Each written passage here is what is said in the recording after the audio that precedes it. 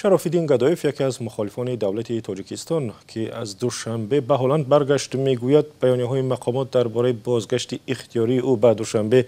дурӯғ аст чун ӯро аз русия рабуда ба тоҷикистон бурданд. Шарофиддин гадоев ки рӯзи дуюми март ба аврупо баргашт бо нашри як баёнияи видеоӣ гуфт аз ҳукумати ҳоланд ва ҳомиёни ҳуқуқ сипосгузор аст ки ӯро аз асорат озод карданд. Шарофиддин гадоев баъд аз қатли раҳбари гурӯҳи бисту чаҳор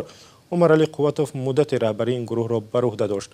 ӯ аз қатли умаралӣ қувватов дар баёнияи видеояш ҳам хотирнишон кард ки чаҳор сол пеш ӯро дар рӯзи панҷуми марти соли 2015 дар туркия куштанд. Радиои озодӣ дар ҳамин рӯз бо қумри нисо ҳафизова ҳамсари қувватов ки дар канада паноҳанда суҳбат кард ва ӯ гуфт шубҳа дорад ки ҳамаи қотилони шавҳарашро пайдо карда бошанд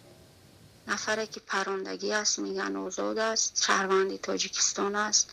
ҳар нафаре ки дар қазия даст доранд ҳама шаҳрвандои тоҷикистонанд шаш нафаре ки даст дорад ному рӯйхатошон ҳаста ин номоро мо дар туркия вакил дорум дар амо судое ки шидагиҳои вакили ма иштирок кардагӣ ҳастад умаралӣ қувватов рӯзи панҷуми март дар шаҳри истанбул аз зарби тири туфанг ба ҳалокат расид. Яке аз дӯстони ӯро барои даст доштан дар ин қатл дар туркия ба зиндон маҳкум карданд.